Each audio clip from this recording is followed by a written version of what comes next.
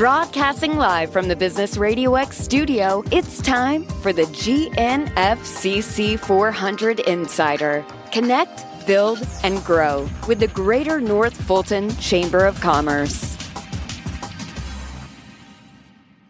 Hello and welcome to the GNFCC 400 Insider, the monthly radio show and podcast presented by the Greater North Fulton Chamber.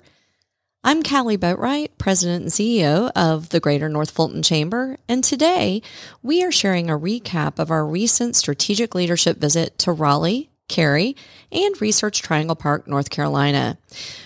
Last week, we took a group of 30 business and government leaders from our region to meet with leaders of that region with the singular goal of regional visioning for the future of our communities. Joining me today to talk about the trip are two amazing guests. Samir Abdullahi, Director of Select Fulton. Samir, thank you for joining us today. Pleased to be here, Kali. And Kathi Cook, Community and Economic Development Director for the City of Alpharetta. Hi, Kathi. Hi, thank you for including me. We're so glad to have you both here. And I want to thank you for joining us last week on our trip. We know that it's hard in positions like yours to take time away, but um, I think we're going to share a little bit about the importance and, and why that actually works out to benefit the region uh, today. So I think we'll start with just hearing a little bit about you and your background, maybe what led to your career and what you do now currently. Kathi, ladies first. So if you tell me a little bit about your background. Sure. So I've worked for the city for 32 years. Um, actually, when I started, I thought I was going to be a pharmacist. So that completely changed. but um, I, I, love what I do. I love helping residents and, and working on development. So I think it's it's been a great career. I've had probably six different jobs at the city of Alpharetta, and um, now as the director since 2012. Really loving it. That's awesome. And so, community and economic development, can you tell our listeners what sort of that encompasses? I sure can. So, of course, it's overseeing uh, zoning applications, redevelopment. Um, it's also working with the businesses, trying to get more businesses to come into Alpharetta. Very good. And uh, that's why it's so important to have you on the trip. And we're so glad that we get to work with you as a partner in Alpharetta. Samir, you want to tell us a little bit about your background and where you are now? Sure. So uh, I serve as director of Select Fulton. We're the economic and workforce development arm for Fulton County government. Uh, I've been there for the past, it's coming up on five to six years now, uh, but been in the metro Atlanta region doing economic development for the past 10 to 11 years. Started over at Partnership Gwinnett very robust, uh, deep bench economic development team, but had a great opportunity to come join Kathi and gang over at the city of Alpharetta before yes. Avalon was built, before City Center was built. Uh, really building out the brand of uh, Technology City of the South and helping to kick off what is now Tech Alpharetta. So it's been incredible to see the the work that that I had a small piece of uh, really transform and grow, and trying to take some of those lessons learned at a bigger stage at Fulton County, which we help to support over 15 cities, including the city of Atlanta, from everything from site selection services to the penultimate, which is the ribbon cutting and an announcement with the governor. So, um, a variety of services that we provide. And we still get to work together. So that's, that's right. That's and go positive. on trips. Yes. That's yes. right. Well, and we love it when we get to do ribbon cuttings for all of the announcements that both of you work on through the entire process. So it's always exciting to be able to work together and have great partners, which I consider you both. So thank you for being here. Thank you. All right, so we're going to talk a little bit about the strategic leadership visit. And let me just let you know so, the strategic leadership visit for our chamber is to take a, as I mentioned, uh, a, group of both public and private leaders to be able to really show some significant ideas of where we could go as a region, but also to build those relationships. So, we do this annually. Last year, we went to um, the Dallas, North Dallas area to Frisco and Plano, and both of you were on that trip as well. So, so this year, obviously coming straight off literally the bus um, with being in North Carolina last week. Can you just share with our listeners why trips like this are important for regions from your perspective and what they offer that might be more unique than just staying here and studying a community? Samir, I'm going to start with you. Yeah, I mean, uh, for me, it's kind of the twofold. It's it's the more obvious one of going to another community or a like community similar to North Fulton, which we've done both for North Dallas and now with uh, Raleigh Durham, about learning about the good, the bad, and the ugly, right? Really having those honest conversations and learning good lessons learned. Um, it's always nice to see kind of the end product. I think about it like an Avalon. um, seeing the final product, but not really thinking through what were the steps necessary, what were the partnerships necessary, what all had to come together to effectuate something like that. So those are kind of the obvious ones. I think maybe what people are surprised, what I was surprised about, is just more of the the honest conversations that you're able to have. And I say it goes. You mentioned networking. I think goes way beyond networking, right? When you're waking up to go to breakfast with someone, um, sitting on a bus all day, listening to different speakers, having those breaks to um, have kind of an honest dialogue about what the speaker just said. I think be able being able to get beyond one's title and position and really get to that what are the individual's personal motivations or ideology as to why they're advocating for certain things or certain developments uh, i just think is so helpful again helps to break down the barriers and be able to have more honest and truthful conversations so we can meet each other where we're actually standing uh, and then it doesn't end at the trip, right? Now you've really fostered these new relationships. We're, we're thankful to LinkedIn, which is an easy way to kind of access and connect with people post trip. But uh, again, I, I think that stronger connective tissue and understanding where people came from or where they're coming from with their ideas as opposed to putting them in a box is helpful for, for addressing big challenging issues, especially when it's regional in nature. Yeah, because the region's obviously bigger than just the sum of its parts. For us, that'd be six cities, um, also the county, and of course, all of our partners within that. And we had a lot of um, different people, diverse group who attended um, from, as we mentioned, the the local governments, the county, uh, MARTA, uh, our many of our business leaders, and so that also plays into it, right? The group that's that's going. Um, Kathi, can you tell me a little bit about why you think these trips are important for the community? Maybe anything that you find unique. I think that we learned so much on the trips because we get so involved in what we're doing in our particular cities, and we think that maybe we're doing it the best. And um, sometimes we are, and sometimes that's what we find. But I think going to other cities and learning, um, especially cities that have similar demographics and, and similar issues, and, and, you find that some of the issues that you thought you had aren't as big as issues as you really thought. Um, also, it's a chance just to be with a group that probably can help you. You may be working on something that you need um, one of these uh, participants to help. So I think that we learn uh, from each other and we learn what kind of projects we can help each other with. I mean, I think that's that's so important. Um, and of course, there may be something that's missing in our programs. Uh, we learned so much about regionalism, so I think that we were able to take away so many different best practices that we could use. Yeah, and and sometimes the best lessons that we learn aren't even the ones we went for, right? A hundred percent. Um, and so that's always interesting to me. I actually was thinking about the fact, uh, Samir, pardon me, Samir mentioned Avalon, um, and uh, if I'm not mistaken, Cary, one of the groups that we went to visit, obviously on this trip, had actually been here to visit Alpharetta to look at Avalon and have now emulated that, right? That's Duplicated correct. it as Fenton in Cary. Can you tell me a little bit about that? Because it's kind of the, the reverse, Yeah, right? It's, it's just sharing information. So we had um, the representatives from Cary Planning Department, Economic Development, came and visited with our staff and said, "Hey, how can we make this happen in Avalon?" You know, it's something that was it was a little bit scary to uh, their uh, city council, so they wanted to make sure that they had something that was very similar to Avalon. It's been so successful, so we share that information. It was something where we actually handed them our whole staff report, you know, with Wow. the 80 conditions of zoning so that they could um, have something similar because, um, and, and then of course they pay that back by Yeah. Providing us with information and showing us their fantastic parks. And, Absolutely, yeah.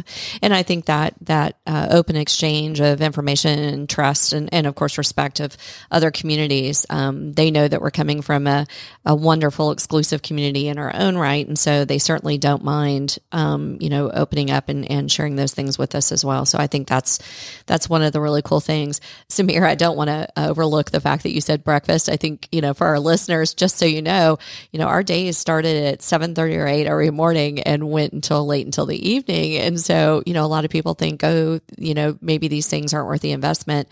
But I mean, the sessions that we had were so amazing. And so let's maybe get into some of the topics, some of the sessions that we had on site. One of our biggest topics during the trip was regionalism, as I mentioned, how it's happening in the area and what it could look like for for North Fulton. Um, maybe share some of the major takeaways you had from the discussions about Research Triangle and Research Triangle Park, of course, used interchangeably, but that that whole area and how they're working together to regionally market and brand. Kathi, you want to share your thoughts on sure. that? So, uh, what my big takeaway was, of course, working together and we meet every month with the other cities and representatives, and we all talk about what we're working on, but we haven't really worked on those together. So it it was a big um, point that I that I took away that I need to work more uh, with the other economic development directors, and they are willing to. So. Mm-hmm. When we market Alpharetta, we also need to be marketing the other areas together because everybody has something unique to offer.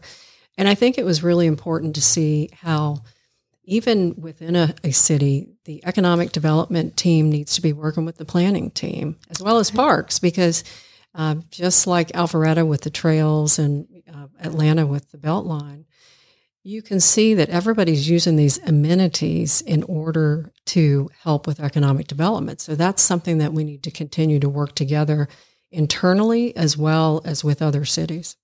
Absolutely. And most people don't know where those city lines start and stop anyway, right? It's That's transparent correct. to the majority of individuals. Samir, what about you? Your takeaway on regionalism? Of course, you work as a, a, county player with Select Fulton, and we're very grateful that you do and, and work real well with our North Fulton folks. But um, what was your biggest thought as we discussed that? Yeah, I mean, I think for Kathi and I as bureaucrats, we're a little bit more sensitive to, to city and county boundaries and, and companies and people. It's much more nebulous, right? right. And so they had the same challenge of um, Wake County, Durham County, Orange County, Raleigh, Durham, Cary, Chapel Hill, right. um, different communities, but but all of that has rolled up under the brand of Raleigh Durham, and Raleigh Durham translates into Research Triangle Park. Uh, Raleigh is the big city, but 80% of the Research Triangle Park is actually in Durham. So, so kind of these cross county, cross city um, efforts to drive towards one goal. And again, Research Triangle Park wasn't established 10 years ago. This is 50 plus years in the making of very early decisions and hard decisions and probably a very uncomfortable decisions. I mean, the Research Triangle Park, which is run by the foundation, is a non-governmental entity that has covenants and decides what happens with property out there. It gets first right of refusal on property. So, you know, regionalism doesn't have to take that that very traditional form factor of city, county, state, something, something, right? Mm-hmm. It can take different facets. And, you know, one of the challenges that I think will be a little bit more acute in North Fulton versus there is we have six cities. There they had, you know, Raleigh and Big Durham, and those are both big cities That's that right. can go and have individual big brands. We didn't really go to Durham, but Durham has the big brand around the bowl. Right. So while we have smaller cities here, we won't be able to get that message out of what North Fulton is, right? right. We know North Fulton like, maybe intimately as an Atlanta native, and the individual brands of the cities are actually very strong, just depending on where you go. That's um, right. You know, I used to do economic development for Alpharetta. If there was any fintech conference or health IT conference, you know, the McKessons of the world and others people at that conference knew Atlanta and Alpharetta. So how do we leverage that kind of individual city brand to roll up to a broader identity, not not to the distraction of what each city is working on. Roswell's a high quality community. Johns Creek is now building town centers.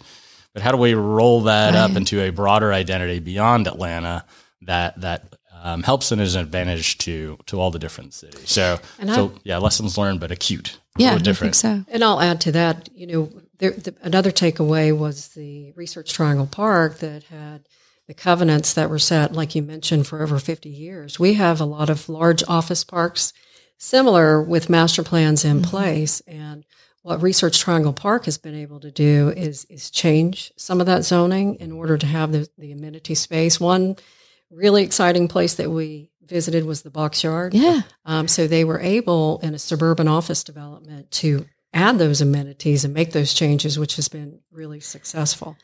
And with our life sciences, you, you know, you mentioned Johns Creek, of course, um, that has some large life science mm-hmm. um, companies. Alcon and Boston Scientific yes, now announced. and then Alpharetta with the medical device companies. Right. It's it's it's getting them together, similar to what we did with um, Tech Alpharetta. Mm-hmm. Right. How do we get those groups together so that they can have share best similar. practices and, yes. and all those things. No, I think I think you're completely right. And I think um, on one of the pre visits, um, you know, when we sat down with the folks in Research Triangle, it's interesting because they, you know, they were candid about the fact that when they started calling themselves that, they weren't. Right. Right. So it was a very much a build it and they will come sort of mentality. They had the space, they knew they could accommodate. So they just started calling themselves, right? That and and certainly it came. So I love the story and learning about it, but also, you know, what can we take as a region um, away from that that would be beneficial? Um, so I thought that was was really neat. Um, of course, in North Fulton, you know, we we have traffic like you read about um, and you often do. Uh, and certainly the uh, idea of uh, visiting an area that has similar um, issues around transportation and transit was something that was appealing to us as well. So when we heard from those local leaders about their transportation infrastructure and specifically their BRT plans for the region, um, how can you tell me maybe how those discussions and insights helped shape what you're thinking about in terms of BRT in our own region, how that's going to look. We know it's going to come up Georgia 400, and of course, again, it's it's planning for the future. I mean, this is this is not going to happen next week, right? It it takes time, but certainly in the works. So, um, Kathi, maybe share a little bit about sure. your thoughts around that and. I mean, it, it, BRT is crucial for the future of Alpharetta's success with the employers that we have. I mean, so many of the different companies that are, are looking to bring their businesses here they want to know uh, alternate transportation. You know, they, they want to make sure that they have trails as well as the BRT. They want to make sure that they have that access. So, working with MARTA to make sure that we get that right, that we can yeah. move that forward at the uh, at North Point as well as Old Milton and Windward Parkway is just crucial for the future success uh, for for the employers that we have. So that that was another um, part of the tour that was very important for me to hear because right. it, it's it's good to hear from others to see how they're moving that along. Well, they had to pivot, right? So they had a failure actually of a of another initiative. Do you want to maybe tell us a little bit about Samir that history? Yeah, I mean, uh, I mean, I think it goes to show that um, uh, especially like places in the South, it can be challenged that haven't had that population density like a New England corridor or some of these places in California, or maybe where the politics drives it much more aggressively. You know, you go to somewhere like LA County, 10 million people, 88 cities, they've decided to put on two and a half cents to their sales tax for transit in perpetuity. Yeah. Uh, unlike here in Georgia and in Fulton County, really we're only doing a quarter penny to a half penny for five year increments. And you got to remember the the local investment is important, but most of that comes from the federal transportation um, um, group. So again, it's it's showing to the feds and showing to outsiders that we have a local commitment. And again, I, I thought maybe not this strategic leadership visit, but last year uh, with DART was very interesting. Some of these affluent communities like Frisco and McKinney that are mm. growing really worked with DART, their regional transportation authority, on getting some local control about the cities being able to help decide what the planning and zoning for the transit oriented developments would look like, even going as so far as to let the city pick the developer. So it doesn't have to be like a very programmatic, this is how it's done in the past kind of thing. And I think that's what we're learning with with BRT is it might be a slightly different model um, right. um, than what people were expecting. But to Kathi's point, um, I think it's just continues to be a very critical thing for economic development, our ability to grow. And we'll see that again, that continues to to be more of a focus areas. Again, the population grows here. We do a great job in recruiting talent from places that are used to transit. And so mm-hmm. it's the communities, I think, that are pushing us a little bit more aggressively on having focus and a plan of attack. It's not just companies that are doing that. Yeah, and um, as we grow, of course, you know you you can feel the the change in in traffic. Um, I found it very interesting that the areas that we met with in Raleigh and Cary and Research Triangle Park, there is no major interstate connecting yeah. those cities, right? right? So you're talking about imagine right. having to be all on well what we call you know city roads or or I, just as they were describing that and kind of looking at that map and yeah. how they're going to do BRT, I just I was throwing my hands up like if you don't have a major corridor, how in the world does right. this work, right? right? I cannot imagine. I can't either. Yes, heading into Raleigh from Cary in the morning, that's got to be it's like going, tough sometimes. It's like Dallas yes, to Fort yes. Worth or right. something, you know. Like yeah, yeah, it was really really unusual. So, so I, but they're yeah, but they're they're of course working to make substantial changes. But I'm always surprised when I visit employers that they don't know about the BRT yes. and mm-hmm. the planned MARTA expansion. So that's, that's something right. too on the economic development side that, that we're trying to make sure that they have that information. Yeah, we want to have those those conversations so they, frequently. making decisions, right? And so they need to know what is planned. Agreed, agreed. All right, let's talk about the fun stuff real quick. We got to see some of the very cool, unique things that uh, Cary in particular is doing around sports, Raleigh around their arts and culture, big focuses for us during our time in, in those cities. Um, you know, I, I think obviously we're, we're hearing about the announcements of potential hockey teams just north of us off of exit 12. We're hearing a lot about uh, the success uh, that's been had in other cities. And, and Cary, my goodness, I mean, while we were there, they were hosting a, a national tennis competition. They had the soccer fields, which their women's soccer team uh, are, perform on. And so they certainly are getting a tremendous amount of economic development from those sports things. And then, Kathi, you mentioned the, the parks and the land. And we saw a park that was just Yes. absolutely a sixty-eight Seven million dollar Seven park. acre downtown, Right. Sixty-eight million dollar park. which what which was incredible. I mean, It I it's to its credit. I Yes. and we got a hard hat tour, so there's nothing like you know walking through dirt and seeing what what the vision could be. Um, with all the things that we saw, do you mind sharing like your favorite in that sort of genre of sports, arts, and culture, and why?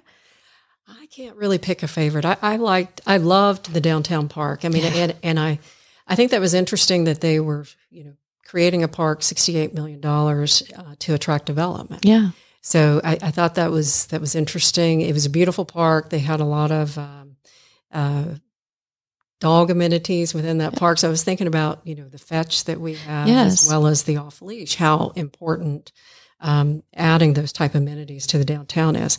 I think with the the soccer park, I thought that was fantastic. What I liked about it is they had so many different teams that were using it. So I, I, I believe with the NWSL, they said they had around seven thousand average attendance. that's right. So if you think about the impact to your retail, restaurant, Yep. hotels, that's big. It doesn't have to be a professional sports. I mean, a that is a professional sports team, but Right. that I think with ten thousand seats, Right. they were able to you know really attract um, a, a lot of people to the area. Yeah, the number of tournaments, right, Yes, I coming mean, in. It's it's just it's huge. So they they even had you know the local tournaments, Mm-hmm. um, non pro sports tournaments. So that's something big for their region. So I think that that was that was important for us to see. Yeah, I think so too. It was really unique too.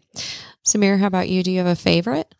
Uh, I'm not going to pick sides or pick favorites. I think again it was all interesting in its own way. Um, I, I- I'll definitely agree on like the soccer part. I think the big takeaway from that and some of these others was there wasn't a single stream use. You didn't create a performing arts center just for a city to use for its performing That's arts, right. It was for the benefits of intramural sports. They recognize they're a college hub. How do we leverage just the colleges that are in the area and some of these less D1 or D2 kind of universities?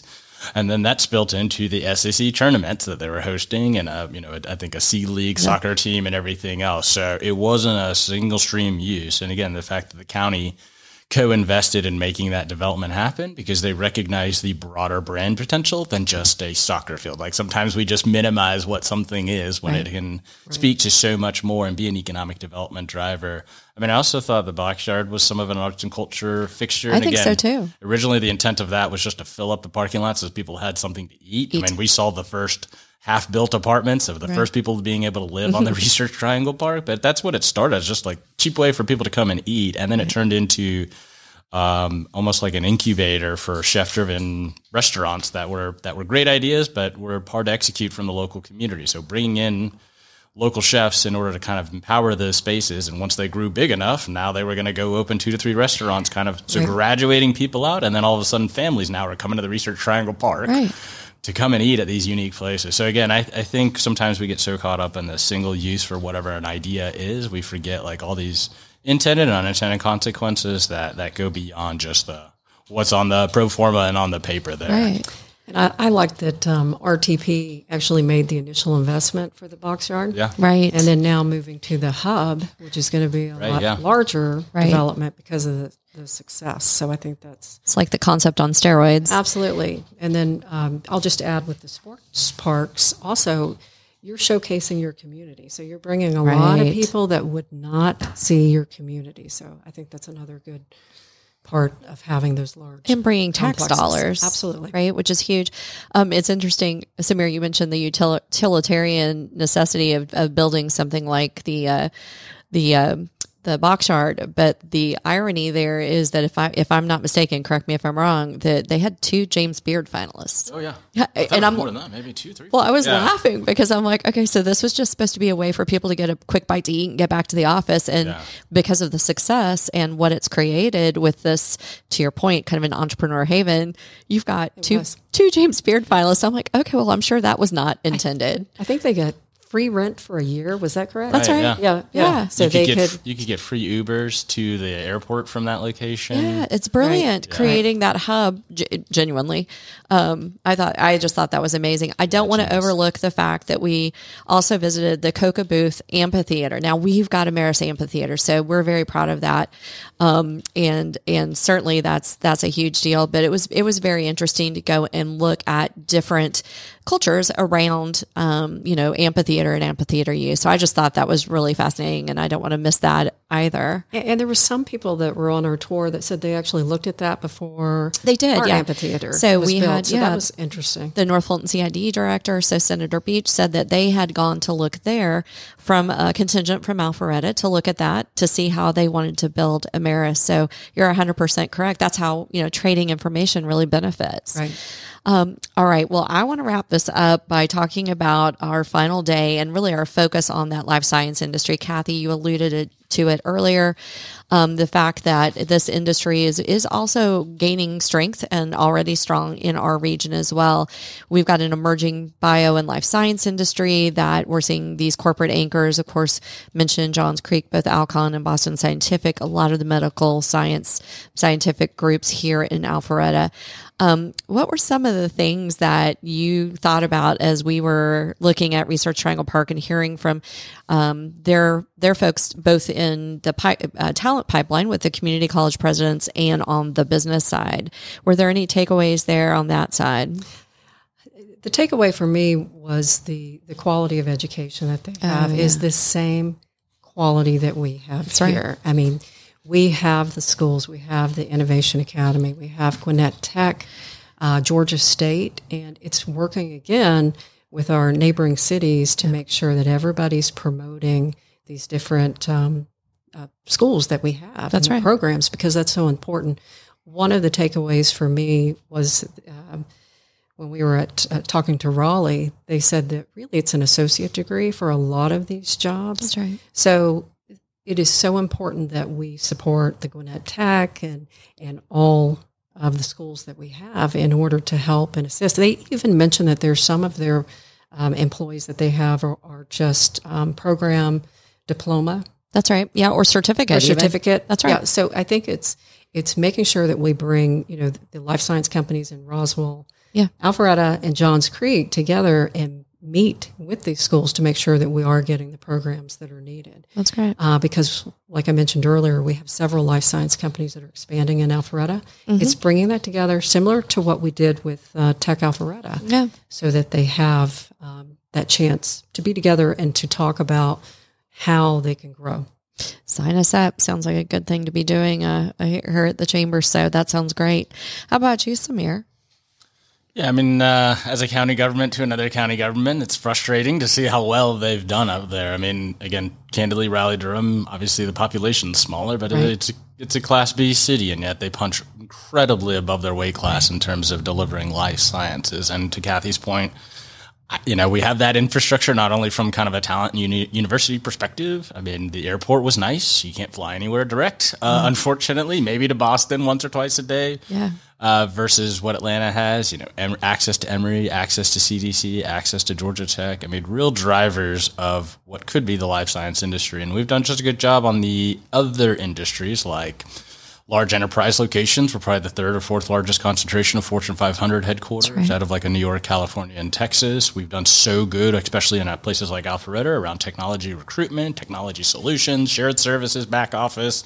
By that one pickle again is the that life science arena, and I think Kathi and I. And many many leaders like us in the region understand that one of the big facets of that is uh, existing real estate. We just don't have a lot of lab real estate. We're excited about the stuff that's coming out, Science Park in front of uh, in front of Georgia Tech, but as I was driving around the Research Triangle Park, I could see you know several acres and seven hundred thousand square feet of speculative life science space ready to go if you just call that number. But you know, like where does that One eight hundred life Yeah, I'm science. sure they'll. I'll take it. Um, I, you know, like where does that exist for us here in North Yeah. Fulton? How we Making like sure climb the infrastructure. That's right. and this is not a cheap industry. I mean, they'll pay 50 $60 a square foot, which is criminal for Class A office in Boston, just because they feel like this is where they have to be in order to be successful. And Well, I and think, capture the, the kids coming out of school. but Raleigh Durham has proved That's you can right. do that You sure can. easily in a southern city, and we have more assets in a, uh, that are that are stronger and appeal to that demographic and that industry more. We've just done a lackluster job, I think, in being really aggressive. Now that's changing. Yeah. many of us will be not only on the North Fulton side, but the Metro Atlanta region and the state will making a big push to. To Bio, which is a big industry trade show, just Mm-hmm. to kind of really announce that life science is a big deal for us. And uh, And change Awesome. and, and, and cities need to change their code, their zoning code, make it easier. So That's we, right. we did that last year, whereby if you already have office allowed as zoning, you can also have research and development in a certain amount of lab space. So I think that's important. A lot of companies that are looking for space, they want to make sure they don't have to go through a lengthy zoning process. So Right. Well, I am so appreciative again, not only of your time today, but of your time in joining us last week on this trip. Um, you know, you were part of uh, another 30 people who joined us on this trip. And so I just want to say thank you for, for being able to come and represent them as part of this conversation. If our readers or listeners, pardon me, wanted to find you, what's the best way for them to find you? LinkedIn, social, give us a email address or, or tell me the Probably best way. Email. So okay. would be email. Uh, kcook at alpharetta.ga.us. Perfect. And That's how not- about you? That's not fair. She's got a crisp last name. Mine's longer. So I'll just say visit us at selectfultoncounty.com and learn about the different services and things that we're up to. We, we keep uh, both that and our social media pretty active. Uh, Awesome. people see what we're up to. Absolutely. Well, I want to thank you both. I want to thank you for joining me today and for all of the time and attention you pay to our region. Uh, we certainly are the beneficiaries of your great, not just uh, thinking about the future, but also everything you do day to day. I also want to thank our listeners for joining us on GNFCC 400 Insider, presented by the Greater North Fulton Chamber. To listen to this show again or to hear any of our previous episodes, please visit gnfcc400insider.com or any of your favorite podcast platforms. To find out more about any of this information or anything going on at the chamber, you can always visit us on our website at gnfcc.com. Until next time, I'm Kali Boatright, and this has been the GNFCC 400 Insider on Business Radio X.